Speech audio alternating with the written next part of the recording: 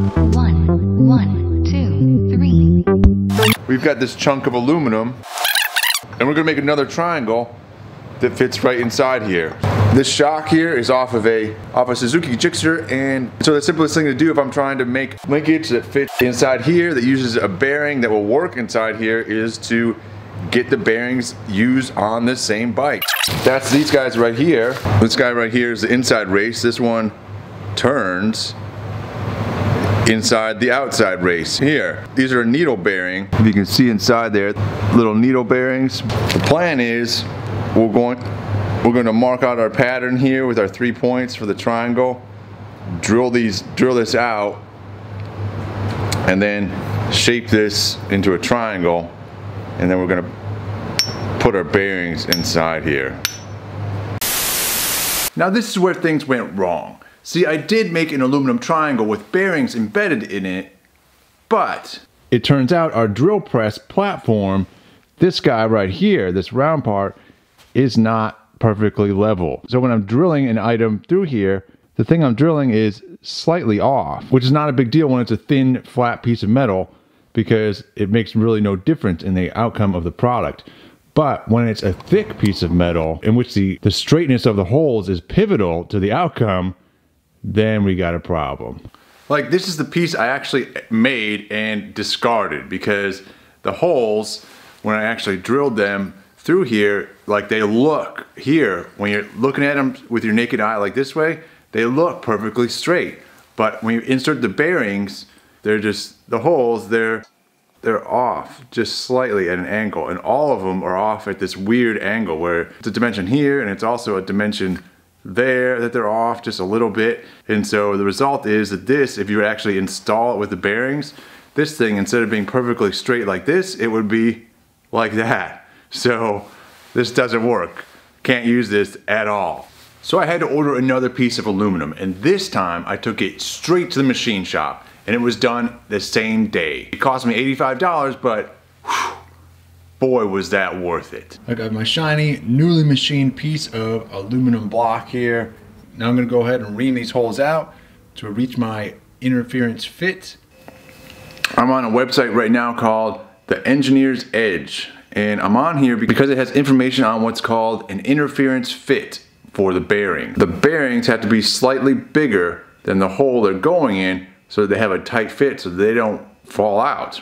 So my question is how big does that hole have to be in comparison to the bearing in order for this to work? They have a chart for interference fits for bearings. Interference maximum and minimum fits, basically that's the difference between the two size holes between the bearing and the hole that it goes into. The maximum difference should be two thousandths of an inch and the minimum difference should be four ten thousandths of an inch. So I've got my adjustable reamer here and my first thing is to adjust this all the way down to, uh, to its smallest setting, which means moving these blades as far down here as possible. This reamer goes from 15 sixteenths to 1 and 1 16th.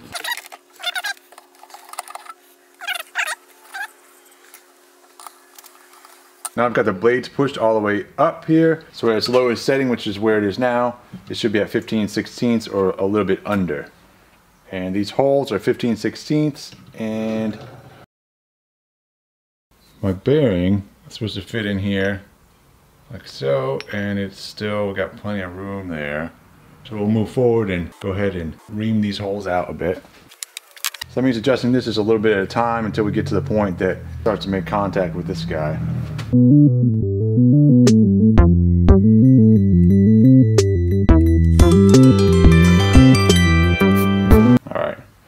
Like that. So like this guy, you can see now it is starting to make contact there. So now we can go ahead and ream this hole out, make it just a little bit bigger.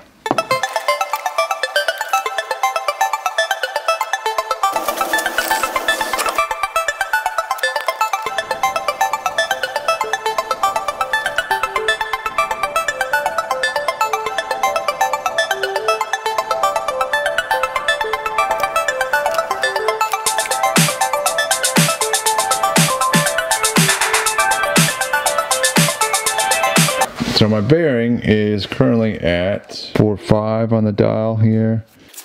Our hole for the bearing is at 44. We're ready to press the bearing in.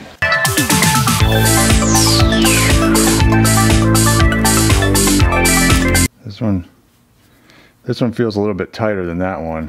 So I'm gonna pop that out.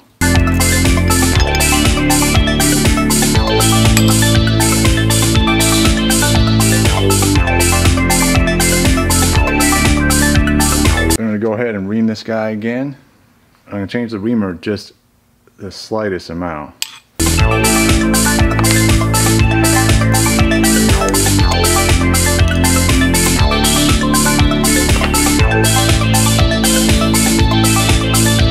Go ahead and get this guy too. Try putting this guy back in.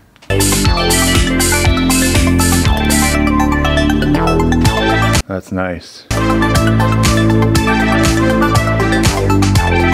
Once I had my bearings sized appropriately, I went ahead and pushed them back out of the aluminum piece by simply taking a piece of pipe that is bigger than the diameter of the hole here, fitting that over on one side like so, and then on the other side using a long socket that is approximately the same size as the outer race diameter, and putting both of these into the vise, pushing the socket in, and pushing the bearing out of the aluminum into the pipe over here. All right, so I want the same general shape, this triangle shape that I had before on this guy.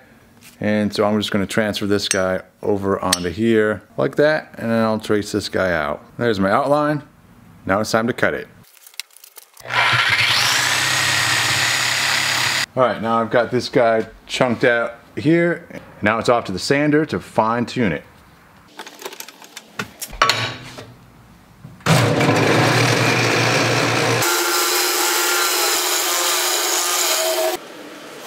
All right, I've now got my aluminum all triangulated out, shaped out the way I want it.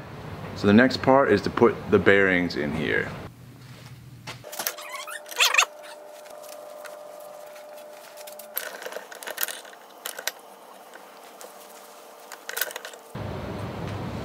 All right, well there we have it. My nice finished linkage piece, which I think I'm pretty happy with it. We'll see, I gotta test it, make sure everything winds up. So the way I'm doing that is very simple. I'm gonna, I've already got this piece that is a bracket piece that goes, that fits onto, onto my triangle and then attaches the triangle to the frame. So this very nicely though, has these two pieces of flat sock on here and if I bolt it on here, I can tell if these holes are straight or not.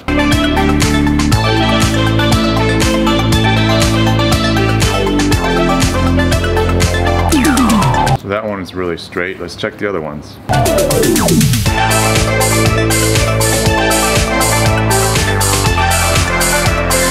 All right, I think we're good here. So that's the story of one part of the suspension linkage. It costs in total $157. Basically there was $85 for the machining of the holes. There was the aluminum itself, the block itself was $12. The and and what was else? The bearings are not cheap either. The bearings were $60. So in total $157, but in my mind, money well spent because this is a custom precision suspension piece. So $157, not too bad. I am very happy with how this worked out. So that's it for this episode. Thank you for watching. Keep on wrenching, and we'll see you next time.